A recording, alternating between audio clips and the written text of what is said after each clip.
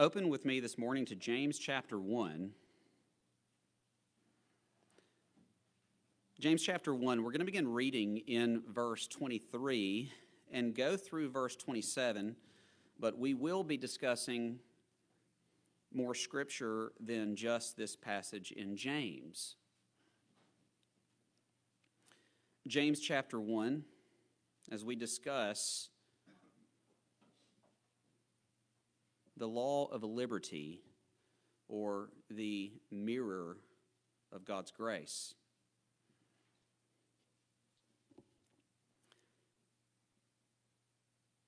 For if any be a hearer of the word and not a doer, he is like unto a man beholding his natural face in a glass. For he beholdeth himself and goeth his way, and straightway forgetteth what manner of man he was. But whoso looketh into the perfect law of liberty and continueth therein, he being not a forgetful hearer, but a doer of the work, this man shall be blessed in his deed. If any man among you seem to be religious and bridleth not his tongue, but deceiveth his own heart, this man's religion is vain. Pure religion and undefiled before God and the Father is this to visit the fatherless and the widows in their affliction, and to keep himself unspotted from the world. Let us pray over the word. Gracious God, we thank you for this portion of Scripture. We thank you that it is written to us and that we have been given a hearing ear and a receiving heart. I pray, Lord, that the gift of faith that you've given us would be exercised this morning and that, Lord, you would entreat your word with the Holy Spirit. Gracious Lord, I pray that you would give me the liberty of my calling and freedom to preach your word, and every person here a willing heart to receive it. Lord, we are so thankful for the ability to understand your word. Lord, this morning I pray that the study of your word would glorify you. In Christ's name I pray, and amen. Here, James is one of the first epistles, some believing possibly the first, but one of the first epistles that have been written to the church. And you'll notice it is not addressed to a specific church, but it is a general epistle of James. It's kind of written just generally to the church at large. He identifies his audience in here as he says, James, a servant of God of the Lord Jesus Christ, to the 12 tribes which are scattered abroad, greeting. So he doesn't write to Ephesus, he doesn't write to Philippi, he doesn't write the church at Corinth, but he's writing to the 12 tribes scattered abroad. This is similar to Peter writing in 1 Peter after he writes to those individuals, which is the book directly after this, as he writes to those strangers scattered throughout the regions in which that he was traveling and writing. And he does identify them in Peter as being the elect according to the foreknowledge of God. So these individuals that were scattered are also those chosen of God to which he's writing. It's the same principle here in one of these early epistles before there were a lot of churches founded. What happened is in Acts chapter 8, you're going to see persecution coming from Saul, and then many of the believers of that age began to be scattered. The apostles staying stationary in Jerusalem, and the believers going back to the region in which they were from. It's probable that in Acts chapter 2, you see that influx of thousands of people during the day of Pentecost. And then after the Holy Spirit came down, they all heard in their own dialect. You see in Acts chapter 6 that there is a plethora of Jews still there the Hebrew Jews and the Greek Jews. All were Jews, but they were coming from different areas. So they just decided to stay. They decided to stay in Jerusalem. You know, this happens when you have a good church meeting. You don't want to leave, right? I'm not looking forward to Monday. Monday is one of those days after a church meeting that I'm just like, I'm, I can't do it. I can't Monday today. you know, and I only have four Mondays left for the school year, but all I can think about is what's going to happen on Monday and all that I have to do because I have to go to Mobile, uh, not Mobile, but Gulf Shores and do a presentation at one of our conferences. You can say, well, bless your heart, you get to spend it at Gulf Shores. Yes, in a conference. Which means I have to sit and listen to people tell me things that matter not to me at all, nor do I care because it's the same thing every year. And I have to go sit, and they're actually making me do a presentation on Friday. Yay, me. Brecca was going to go, and when she had to cancel because we have a child with a concert, and ended up staying at a Holiday Inn instead of the condo because, you know, I'm not going to sit with my transparent glow in the dark self on the beach by myself. So, you know, I don't even know where I was going with that, but but in general, you know, this past week I remember I'm just thinking about Monday. So I want to stay in this weekend. I really wish I could. These Jews probably stayed at Jerusalem for a while until persecution started and they began to scatter. They began to go back to their own regions. And so he's looking at all of those of Jewish ethnicity that have scattered throughout the region, and he's writing to them under the assumption that they're having the possibility of going back to Judaism due to persecution and due to trials.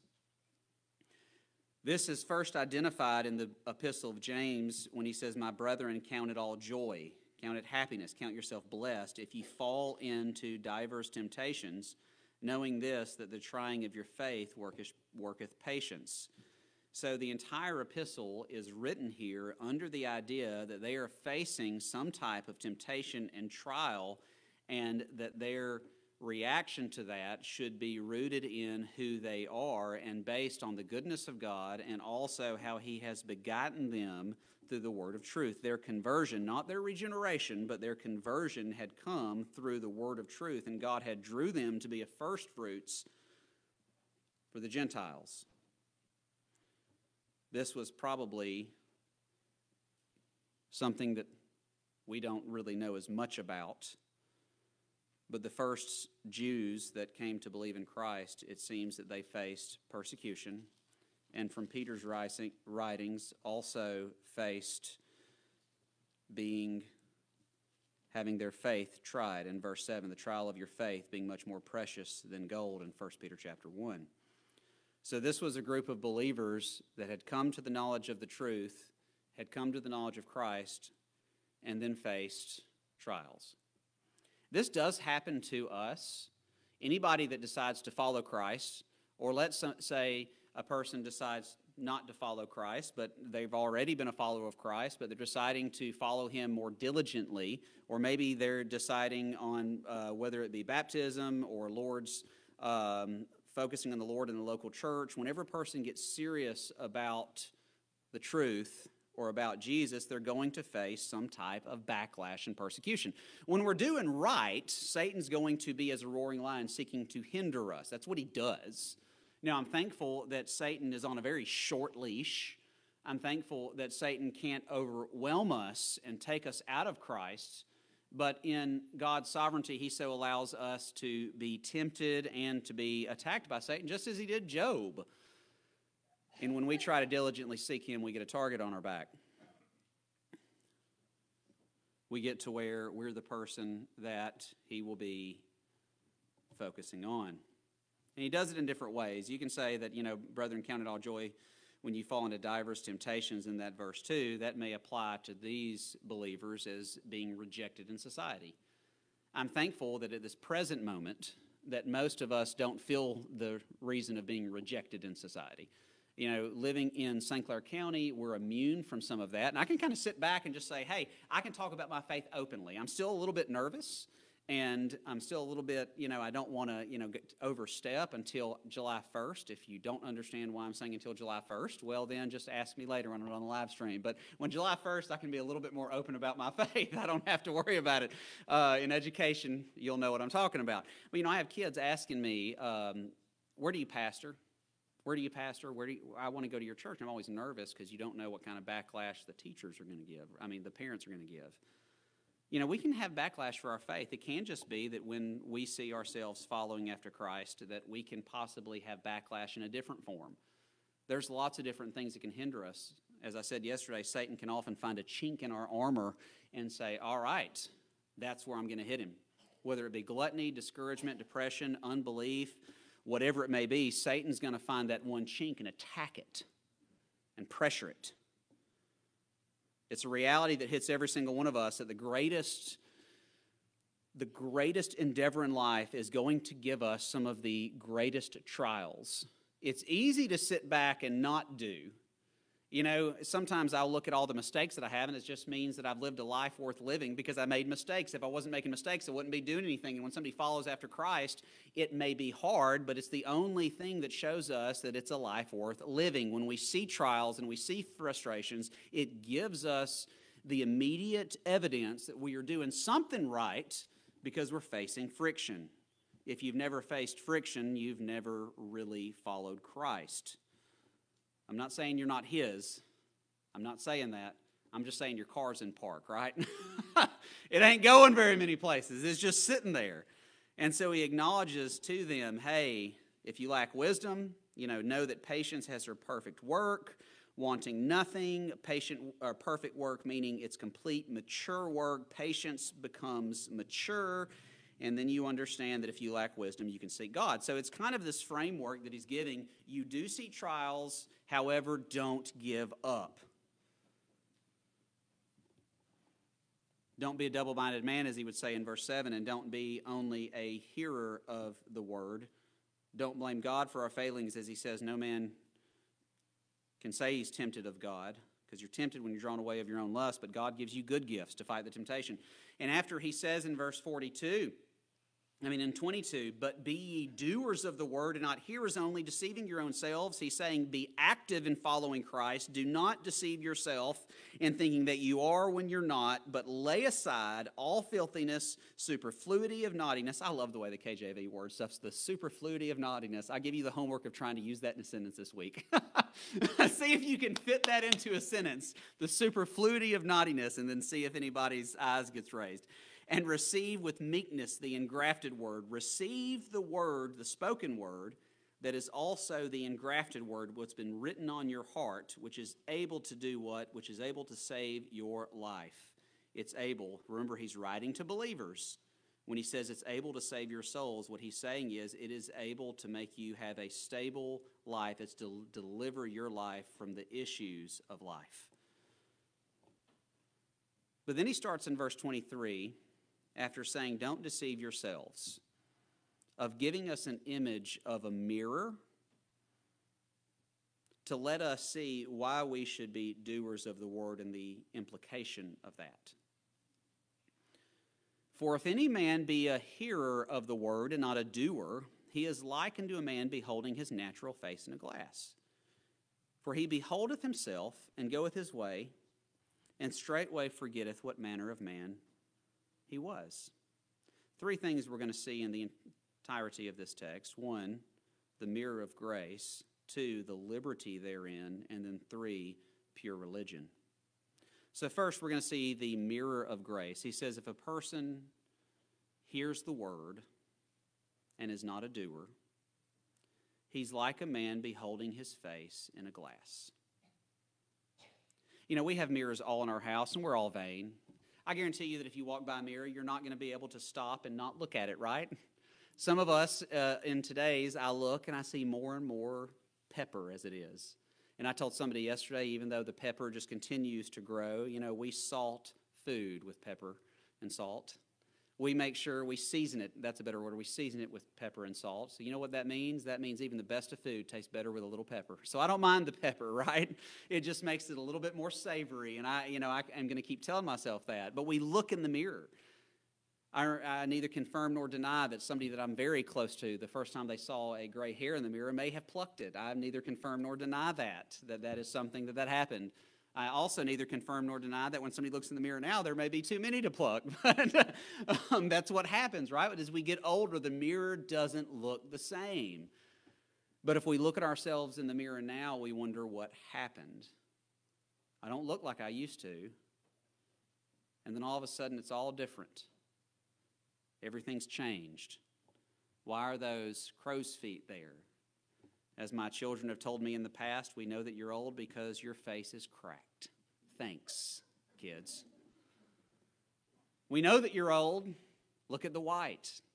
I have a hat with a year on it, and my kids tell me that was the year I was born. It happens to be in the 1600s. The mirror isn't as kind as it used to be, but we still look in it. We still try to look our best from a young age. Children parting their hair like dad or girls looking and just pulling their hair back. I'll never be used to having a female in the house that's not my wife. And we look in the mirror. And sometimes we can go away with great confidence when we look in the mirror. You know, looking at this mirror analogy, the first time I read this, I consider it to, it to be almost as if look, looking into a mirror of like depravity. Not in the good, but in the bad, seeing all of our negatives and walking away negative. You'll you may or may not remember this, but in 2008, not long after I was liberated, I was married in June 28th, 2008. Had to make sure I got that exact year right. Um, we got engaged on June 23rd, 2007. So in the fall, the Wetumpka Association, I believe it was 2008, was held here. And as a young liberated gentleman, I came up and I preached on this passage. Just seeing if anybody remembers it. no, of course not, right? And, and, but I remember preaching on the passage, and I, made mention then that I used to look at this as being looking into the face of depravity. And there's some truth to that because we have to see who we are to understand, or who we were to understand the blessing of who we are now. You know, one thing that the mirror does tell us is our, inadequate, our inadequacies. In Romans chapter 3, after Paul identifying the fact that all are under sin, that every single person, both Jew and Gentile, is under the bondage of sin. He then begins to describe from the Psalms and Isaiah what that means. Now, in Romans 1 and 2, he goes from chapter 1 of describing how the entirety of society pre flood slowly gets worse and worse. And this is indicative of the depravity that society is in to the point where sexual immorality gets worse and worse. And it just begins to open and snowball to the point where all of society is given over to a reprobate mind. In chapter 3, he begins to show that true Jews are those who are circumcised in the heart, and to both Jew and Gentile are under sin.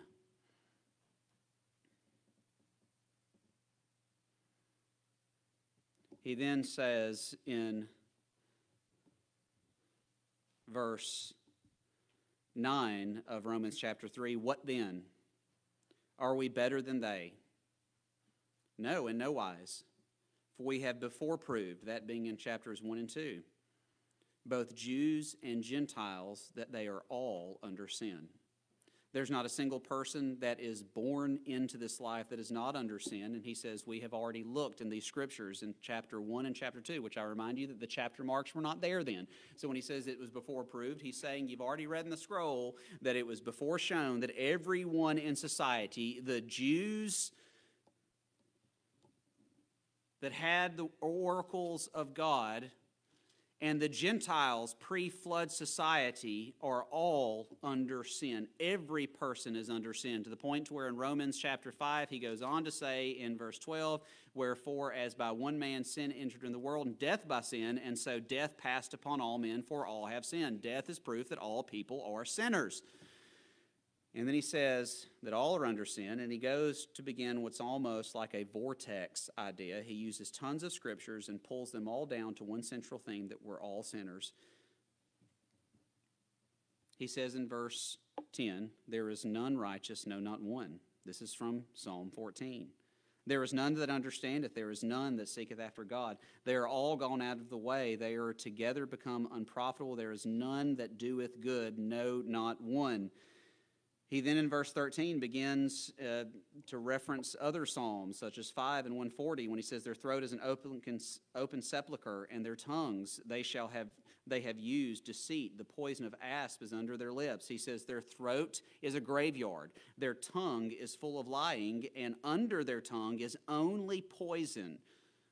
He quotes Psalm, 4, or Psalm 10 in verse 14, whose mouth is full of cursing and bitterness. Again, he quotes Isaiah. Their feet, it, are swift to shed blood. Destruction and misery are in their ways. The way of peace they have not known. There is no fear of God in their eyes. He pulls it all together to describe why we are the way we are in saying that there is no fear, there is no reverence, there is no sober thoughts from them, from us, before God.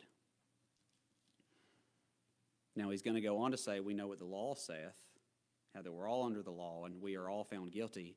But the view is rather bleak. You know, if I looked in the mirror at that point and saw depravity, what I would turn around and do is say, Do we not have a filter for that? have you ever seen on social media people that you know don't look like that?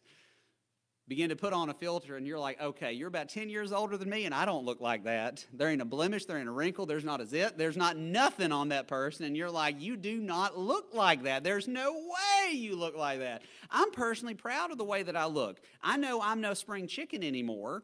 You know, I'm still young because uh, the Jewish idea was you go from young to old at age 40. So I've got two and a half more years before I can say that I'm an older gentleman. That's why he called Timothy young because he was under 40.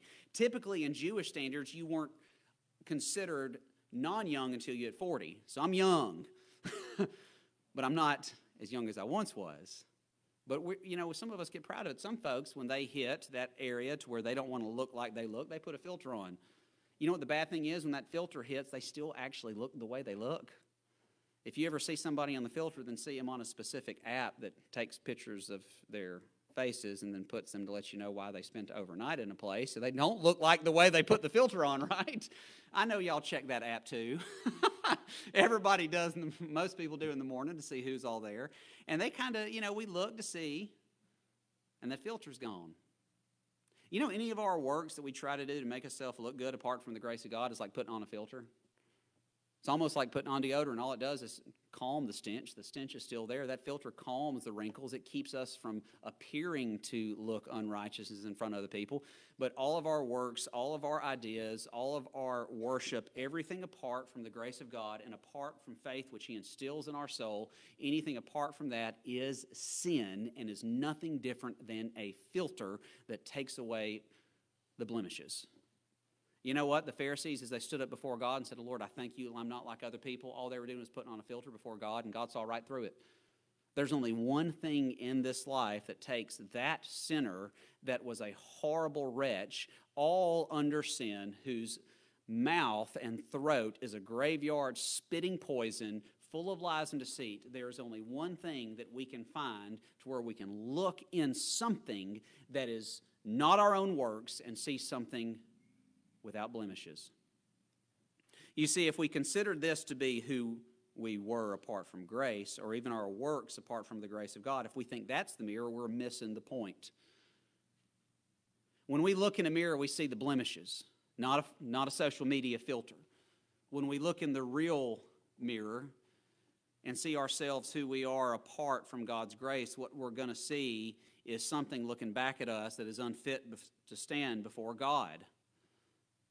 You know, when I look in the mirror, I think about, you know, we begin to see how we're not as young as we once were, how hair is not what we wish it to be. Some of you may have some antidotes for that. I remember I've told y'all this before. When I was a little, I thought men's hair turned white and women's just had kept the same color. And then as I grow older, I was like, oh, that came, that's not natural, right? I won't say much more past that, but you realize that everybody's hair turns gray pretty quick and we may not want to see it. See, this isn't talking about depravity necessarily, it's talking about something better. Seeing our face in a glass, I've, I've likened it unto this. You know, we need to know where we came from because what we presently experience will not mean anything apart from where we came from. We need to know that we are a sinner apart from God's grace. We need to know that apart from God's grace, that we would seek unrighteousness, that our mind is an enmity against God. We need to know that we are unable to please God apart from His Son, Jesus Christ. We need to know that, but we need to know it in the same way that as we're driving down the road, we have a mirror that showed us where we came from. If we're focused on the rearview mirror, we're going to be in a bad place, right? if we're focusing on it, we're going to drive off and hit something What we need to do is focus on what's in front of us, the windshield that's wide, that's showing us where we're going. We're headed to glory. Yes, we came from depravity, but depravity is now something that we're looking in a rearview mirror, knowing where we came from, yet the windshield is much wider than that. The grace of God is much deeper, is much wider, is much higher. And so when we see the grace of God, we're seeing something, we're seeing where we're going in contrast to where we've came. It's often the same way as understanding the way you look at a diamond. I've used this in the analogy in the past. When we hold a diamond up, it looks pretty, but if you hold it up against black velvet, it's going to be it's going to shine brighter. That rear view mirror is what makes where we're going look better. When you appreciate what you have.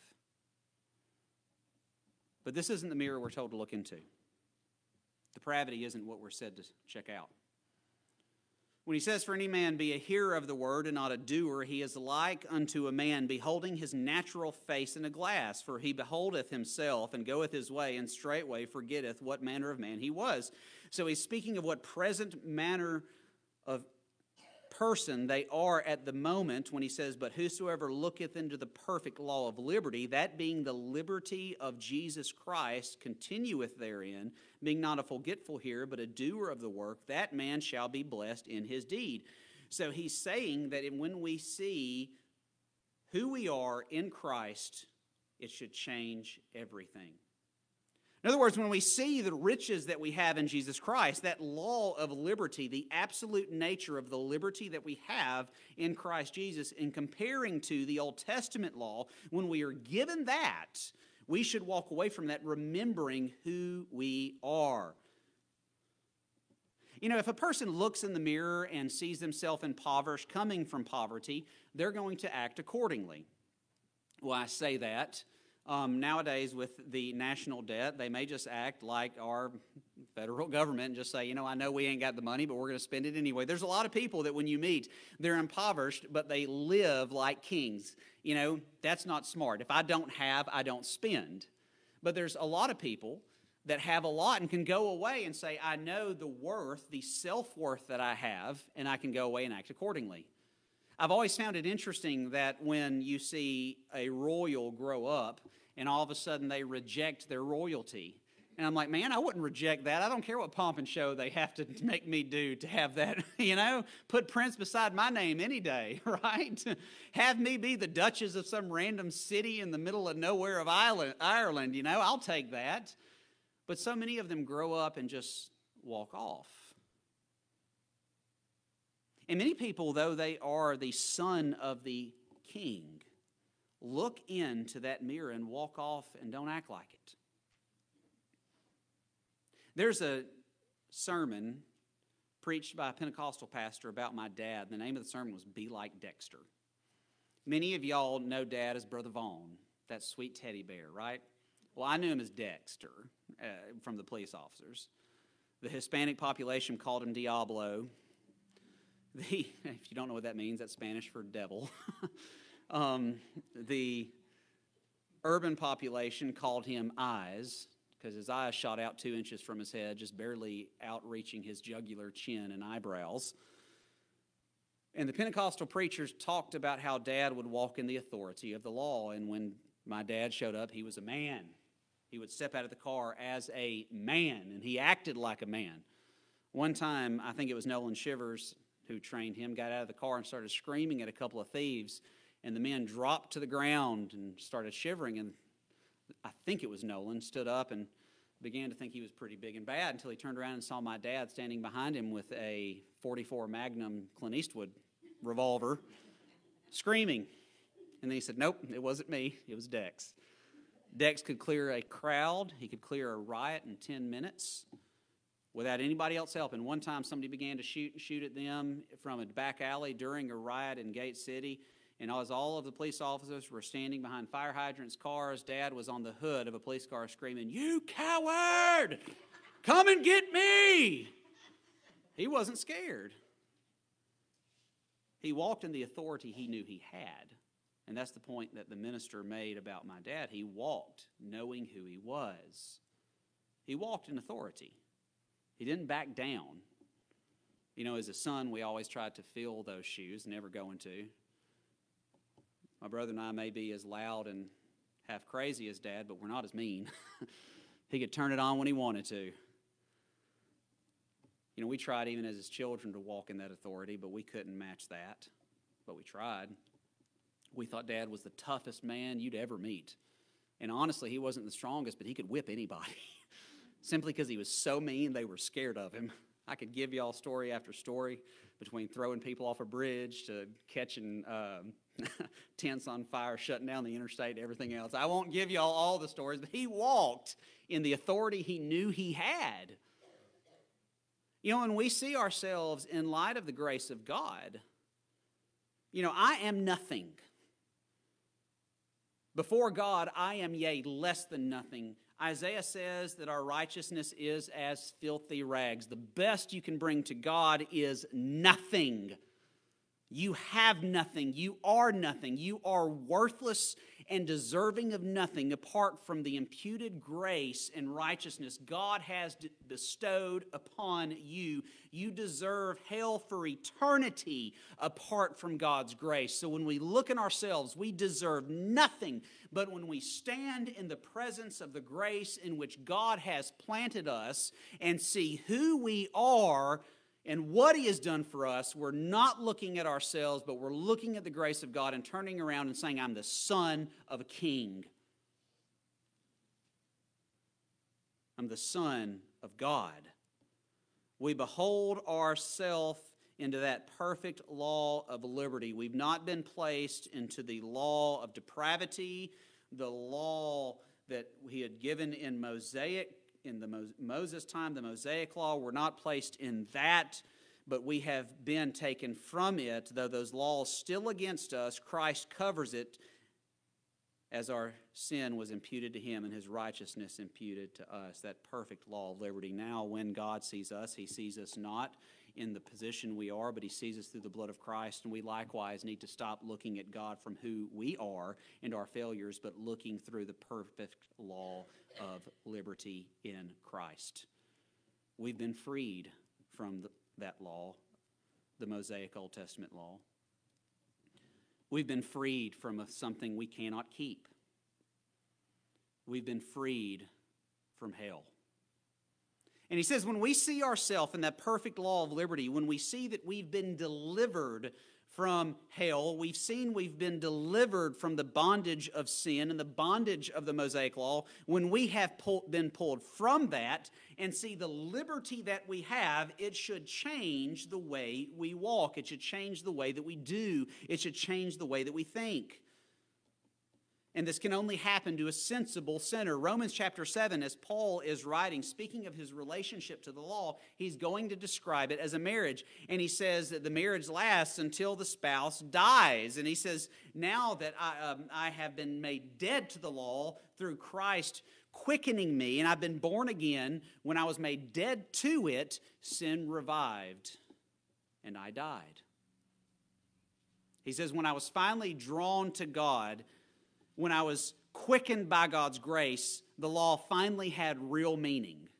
You can envision Paul as the Pharisee standing up and thinking he's doing everything right until on that road to Damascus, and God smacks him down and, says, Boy, who do you think you are? and puts him on the ground. And that law that he thought he was fulfilling all of a sudden was now the law that destroyed him. He thought he was perfect, but now all of a sudden he is understanding his own depravity.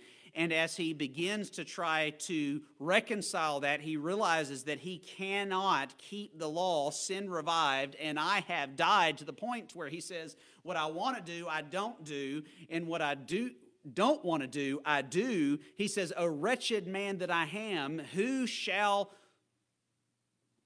who shall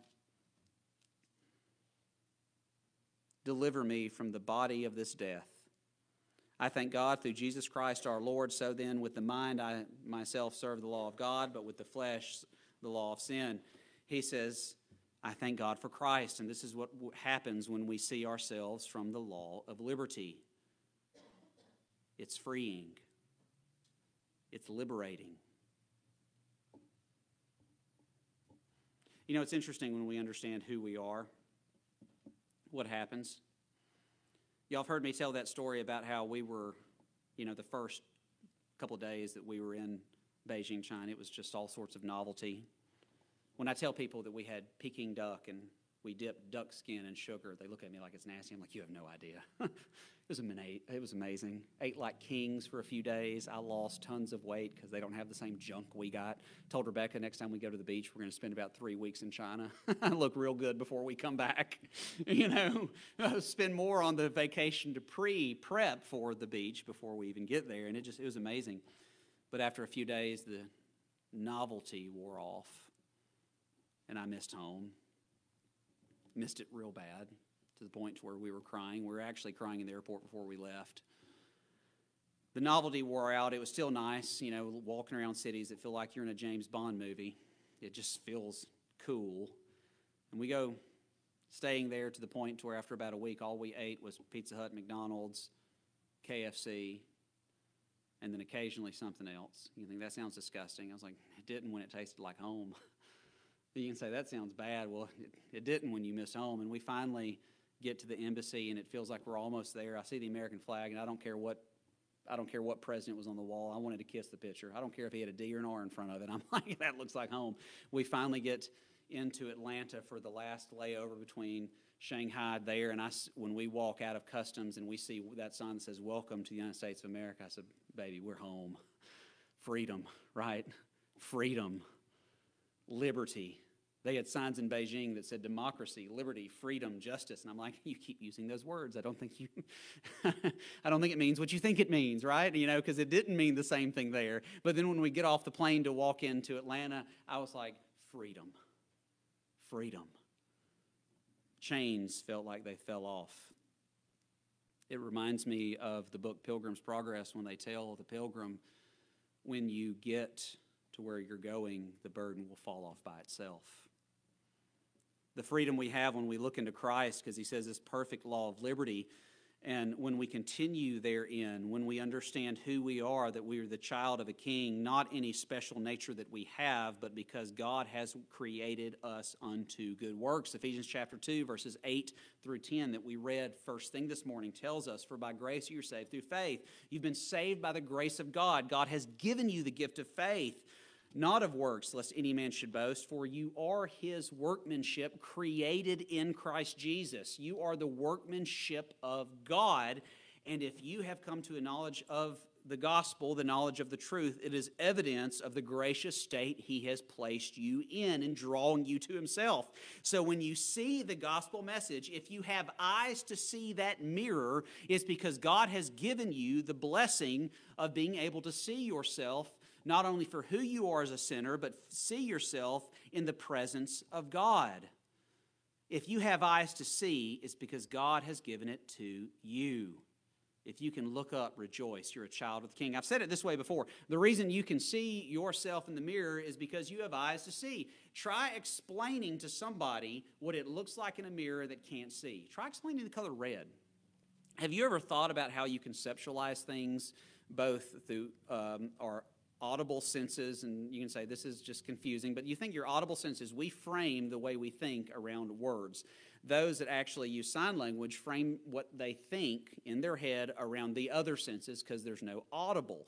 And so we can discuss things audibly, but they're framing stuff through other senses. Try explaining somebody that can't see what the color red looks like. They have no framework to understand what the color red looks like.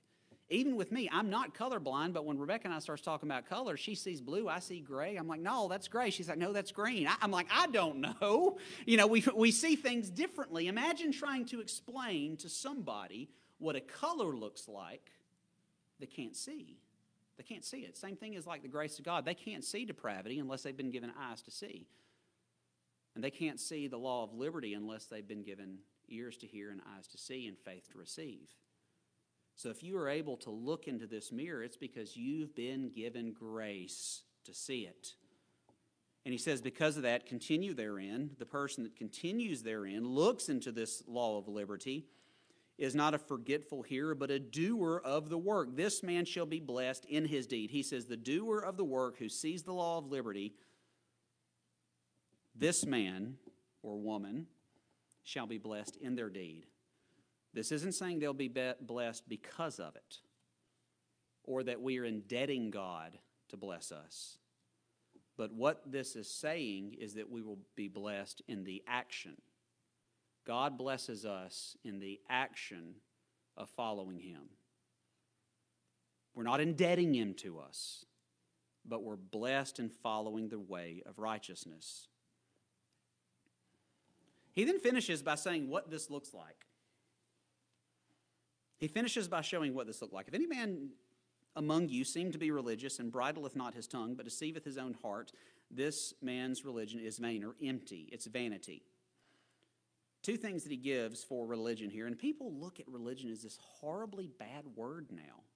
I don't want a relation. I don't want religion. I want a relationship as a popular cliche word or phrase. I'm sorry. It's like, it's a phrase, not a word. It's like I heard Charles Barkley say the other day, two words, and then he said like 10. I'm like, good job, Charles. He's from Leeds, but, you know, he graduated a little bit after my parents. But, you know, a phrase that people will say is, it's not about religion, it's about a relationship. I, diff, I disagree. You're not going to have a proper relationship without religion. Relationship is built on what you're doing. You know, even with my wife, relationship is built on what I'm doing. Relationships are going to struggle if we're not doing something. My relationship with my children can struggle if I'm not doing. And here, in the bad sense, but shown of what religion is supposed to look like. Later in chapter 2, which we're not going to make it to chapter 2, but I wanted to, he speaks of justification by works, meaning that we're declared to be who we are through our actions. We're justified by the blood of Christ on the cross. We're justified in our mind by the gospel and through faith, and we're justified by our actions in the courtroom of our peers. And he's showing what it looks like that people see our faith. As Brother Tim talked about yesterday, our faith can be seen very often through our actions, and that's justification by works, a person who's acting from who he is. And faith without works is dead, being alone. So, what does he say? There's a few things that he gives here. One, that religion is worked out through speech. He gives the negative. Any man among you seem to be religious, but bridleth not his, bridleth not his tongue, but deceiveth his own heart, this man's religion is vain. This idea of bridling, like a horse being under control, something that is powerful, something that can really hurt you, something that can hurt other people, we keep it under control. We keep our tongue tamed. Presently, it's popular to say, Well, I like him. He says it like I want to hear it. You know, he, he speaks his mind. You know, I get that's popular in the political world and even on under media outlets and even under political figures. I get it. We like to hear people told off. I think somewhere in the past four years, my filter broke, and I have to tell myself, calm down. Don't say what you're really thinking all the time. So, not bridling our tongue can be an image of not being religious. Why is that? Because when those that blasphemed the Holy Ghost and said that Christ was acting out of the power of the Beelzebub, he looked at those that said that, the wicked Pharisees, and said, Out of the abundance of your heart, the mouth speaks. In other words, the mouth is indicative of the position of the heart. I've often said this, you know, one thing that never lies, and I'm not going to tell you the full quote from the pulpit, one of the two things that never lies is a child, a toddler. They'll tell you the truth in a heartbeat. You, you riding you riding a buggy through a store and all of a sudden you pass by the uh, beverage aisle and somebody looks and says that's mommy and daddy's drink. Well they lie they're telling the truth right? They're saying hey look that's what mama drinks. Be quiet the preacher's there right? You know as i'm walking beside my wife and kids. I'm kidding. You know they'll point and say things. You'll get there and we went to a church service once and there was a preacher there. Have you all ever seen uh, the disney old peter pan movie where there was a big giant with a round nose there's a preacher in Mississippi that looks just like that. we went to a Christmas singing. We're sitting in the back, so we got children. Because that's what we do. You know, people with children sit in the back typically. So we're sitting in the back, and this preacher walks in. My oldest looks and says, Daddy, it's the giant. I'm like, You're not wrong, son. but shh, you little heathen. You know, out of the abundance of the child, or out of the abundance of the parent, the child speaks. They tell all of our secrets. It's like when a parent says, I don't know where he learned those words. I do. You know, sometimes our mouth tells on us too. It tells us the position of the heart. And if we don't bridle it, if we don't control it, what we're showing is an unbridled heart. And we're deceiving our own heart. And if our speech is not what it needs to be, then our religion, our pursuit of Christ is vanity and it's vain. Yes, tough words need to be said, but tough words under the banner of Christ. Christ said tough words, but Christ never sinned. And so our tongue must be brought under a bridle. Not only whatsoever our the position of our heart shows our mouth, the position of what we text, tweet, post shows our heart. So that's the first thing that he gives. The next thing he says is pure religion, unadulterated religion, religion without impurities, religion without any of the imperfections.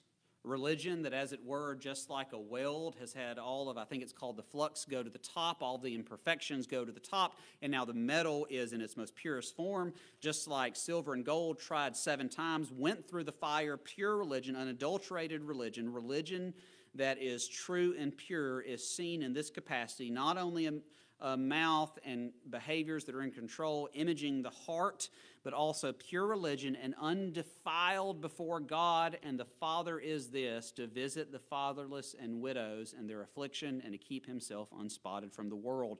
So true religion is what? It's done in two ways. It don't look like the world. It's unspotted from the world. You know, sometimes people will say, well, you know, the church is just struggling. We need to look more like the culture. I, it was funny this morning. I had we were talking about something. There was a quote from a popular uh, Reformed pastor, and he made this statement. He said, "Don't dress like the Puritans." Well, I don't like that. I want to wear a wig like John Gill. I mean, I think it would look good if I came to church in one of those wigs and one of those black robes. I think we could pull that off. That would look nice. But you know, don't dress like him. Why? Because we're not Puritans. We don't live in the 1600s, right? we don't live in the 1700s. We don't have to look like them. And so, where the culture doesn't contradict the Word of God, we can act like the culture, right? When we went from the big fluffy suits to the skinnier suits, I changed. Even though I still wish we'd go back to those. Y'all remember the four button suits? I, I wish we still did those. I loved those, but I'm not going to. I love those suits. Why? Because people don't wear them now. You know, it's not wrong to look like the world where it doesn't contradict Scripture, but when God has given, Thus saith the Word of God, whether it's the way we conduct ourselves in the house of God, whether it's singing, preaching, and praying, when God has spoken, He's saying, Do this, don't look like the culture. You'll remember when Moses came down from the mount and he heard the children of Israel worshiping false idols, it sounded like war. We're not to sound like war, we're not to sound like the world, we're to look like what God has commanded. We're to be unspotted from it, be holy as God is holy. Yes, we can dress like it's 2023. We can worship in a building that looks like it's 2023. But wherever the Word of God contradicts the world, we keep ourselves unspotted from it. And then, secondly, what he names first is to visit, to take care of the fatherless and widows in their affliction. It's pure religion and unadulterated, undefiled. What does it look like?